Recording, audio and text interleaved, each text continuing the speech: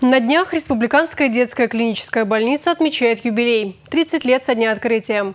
Каких результатов добились медики за это время в нашем репортаже? Каждый из нас знает, что профессия врача очень ответственная, а детским доктором быть сложнее вдвойне. Ведь при любом настроении нужно уметь найти подход к маленькому человечку. Родители и дети Республиканской детской клинической больницы всегда довольны качественным обслуживанием. Здесь работают такие хорошие врачи, а, точно, своевременно поставили вот диагноз, правильный диагноз и удачно провели операцию.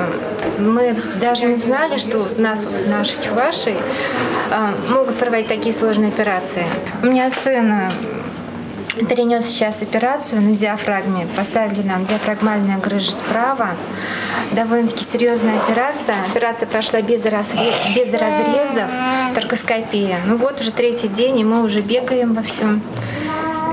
Уже готовы домой.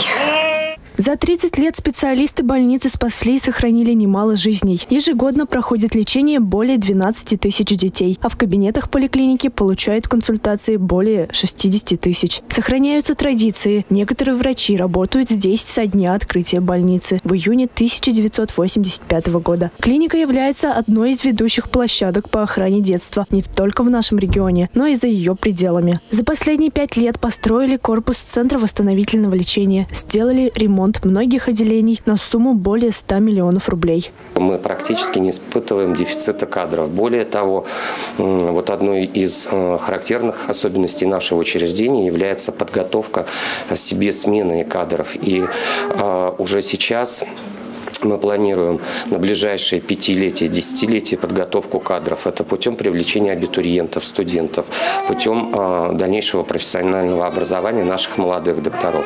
Врачи детской больницы отмечают, что для них работа – второй дом. Они всегда рады видеть счастливые лица здоровых детей и их родителей. Анастасия Лангина, Татьяна Раевская, Андрей Шоклев, Республика.